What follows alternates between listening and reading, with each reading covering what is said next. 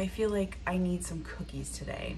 It's rainy, I wanna be cozy, and cookies seem like the right thing to do. So I'm going to make some iced oatmeal cookies. I feel like I've seen these at the store maybe, you know, those thin oatmeal cookies with the icing just kind of like spread unevenly on the top. That's just what I'm wanting right now. I saw a recipe from Kroll's Korner on Instagram and I will link them as well as this recipe down below in the description. They looked delicious, so now I need to have them. My oven is preheating to 375 Fahrenheit. I have all of my ingredients meased out, so this should be really easy to throw together. Get in the oven so they can cool, I can ice them, and then I can eat them. Let's get started. These are going to be really good cookies. And do you wanna know how I know they're gonna be really good? Because we're starting off with brown butter and lots of it. Make sure you get all of those bits off the bottom. I'm gonna set this aside to cool just for a little bit while I get my dry ingredients together. In my bowl here, I've got some all-purpose flour. The recipe does call for half all-purpose and half cake, but I don't have cake flour, so I just went all all-purpose. It should be fine, fingers crossed. To my flour, I'm going to put my oats that I just blitzed up a little bit in my food processor. Not completely, I still want them to be kind of whole, but not like a dust. Baking powder, baking soda, and salt. Cornstarch, cinnamon, some freshly ground nutmeg, and the recipe does not call for it, but I'm adding a little bit of cloves. Just gonna whisk this real quick just to combine everything as well as I can so there aren't any random clumps of whatever anywhere. Back to the butter. This has cooled just a little bit, just enough. I'm gonna add my sugars, so white sugar and brown sugar. Oven's ready. Break that up a little bit and incorporate it. Gonna add my vanilla and my eggs. Need something more substantial. I'm gonna combine my dry with my wet and carefully fold everything in. Might seem like it's never gonna come together, but slowly but surely, everything will start to incorporate. And there we go. We're all mixed in. Looks and smells perfect. I've got my two tablespoon scoop here, sheet tray lined with parchment paper, going to town. Since I don't know how much these will spread for this first batch, I'm just going to not put a ton on here.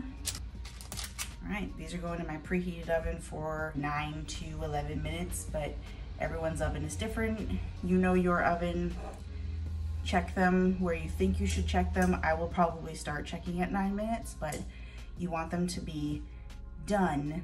A little bit of a browning on the edges starting, but not, you know, burnt to a crisp. Here is my first batch. I am not thrilled. I was hoping that they would spread a little more, but they're done. This was after 11 minutes. I didn't want to cook them anymore. They smell like heaven. Like it reminds me of walking down Main Street at Disney. That's that's what these smell like. So I'm gonna let these cool for just a few on the pan, then I will transfer them to a wire rack. I'm hoping while they cool, they'll kind of deflate a little bit, which will make me a little happier but I think the next batch I might manually flatten a little bit just to experiment. Ooh, I can't wait to eat these.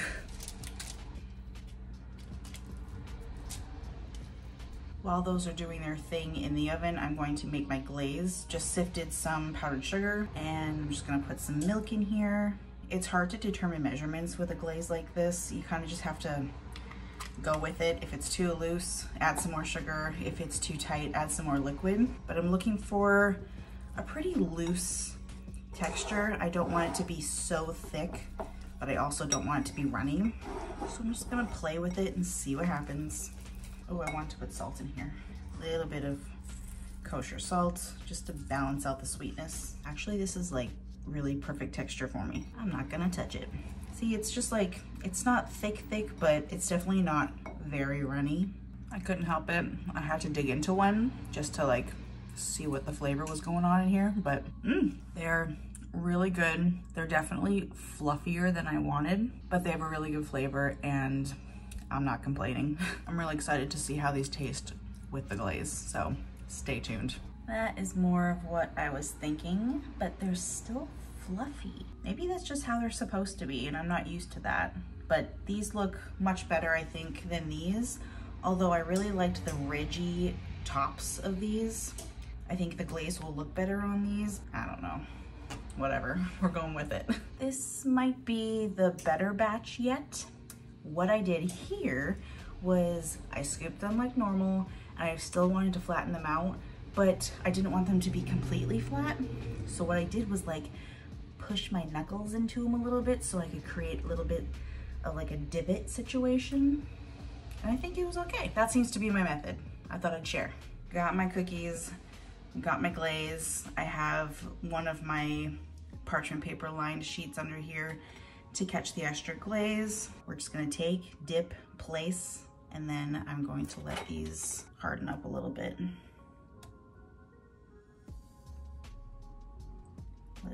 Excess drip off. It's not coming out how I want it to right now, but we'll see what happens.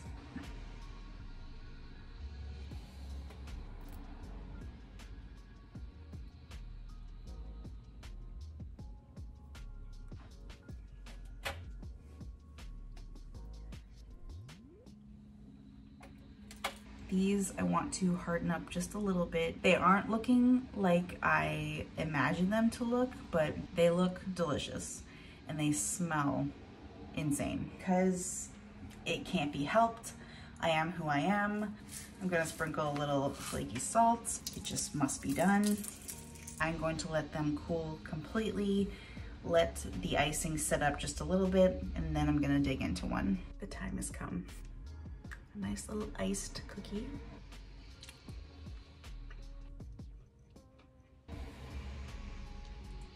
Mm, these are really good. The flavor is so good. The texture is a fluffier cookie than I'm used to, but I don't mind it. The glaze adds something crazy, just perfect. These are really good. Mm, they're so good. And I'm usually not an oatmeal cookie fan, you gotta try them. Enjoy.